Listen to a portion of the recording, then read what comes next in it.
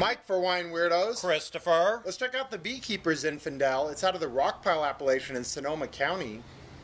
Excellent. Looking forward to this. We've had some zins out of the Sonoma County that we've adored. Yep. So we're we're getting excited here. Clay Mauritson and Ian Blackburn are the winemakers. Ian is a really important name in uh, the wine world here in Los Angeles. He does the Learn About Wine brand, which is incredible. Yes, educational events and affordable dinners. We've been to dinners that were great values. Incredible value. And so we're checking out this 2011 Beekeeper. What's it doing on the nose?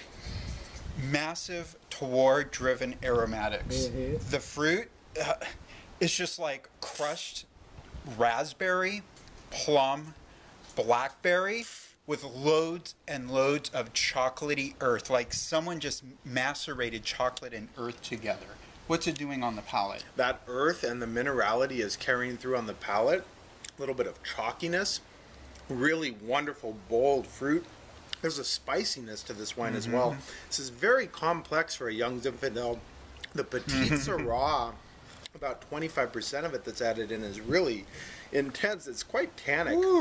Wonderful wine, though. I, we've been drinking this all afternoon, and, and I must say, this is one of the better Zinfandels that I've had from this area. Yeah, the grip is present. It's a little on the young side, but seeing that, it's not like mouth puckering. And you were smacking your lips there. as you Yeah, were talking incredible. about. This is mouth watering. It's just like my mouth. Every gland is opening up and receiving this. The Mm-hmm. fruit is explosive. It's a monster, but everything's pretty much balanced for a big 15% zin. And I'm- it's quite structured for a California Zin. Absolutely, like the minerals, the slate minerals and the soil are just coming through and rounding things out. And the tannin, the grip is it's a little tight, but it's Mm-hmm. keeping everything together. It's very, very pleasing wine. I believe. Well, who gave it a 96? This is a wine connoisseurs guy. Gave it Yeah. 96, and I must say they're pretty on point here. This is remarkable wine, especially for the 11 vintage. Huge happy face. I can imagine this with pizza. You would be living large. Or better yet, laying it down for five to seven years to get into a Mm-hmm. very, very fine restaurant. This is Michelin star quality wine. Brilliant stuff from Ian and Clay.